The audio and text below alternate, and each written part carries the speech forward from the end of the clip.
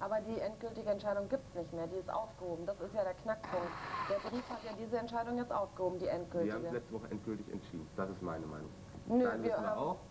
Das wir ist meine Meinung. Wir haben deshalb endgültig entschieden, weil wir dachten, es muss endgültig sein. Wir haben es ja nicht freiwillig entschieden.